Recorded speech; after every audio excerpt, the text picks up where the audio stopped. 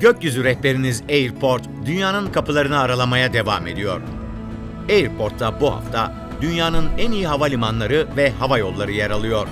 ABD'de yayın yapan derginin 800 binden fazla okuru İstanbul Havalimanı'nı ikinci, Türk Hava Yolları'nı ise üçüncü olarak seçti. Peki sıralamada diğer isimler hangileri oldu? İşte dünyanın en iyi 10 havalimanı ve hava yolu. Güntay Şimşek'in konuğu, Nuri Demiray ile ilgili araştırmalar yapan, roman yazan akademisyen Profesör Doktor Muhittin Şimşek.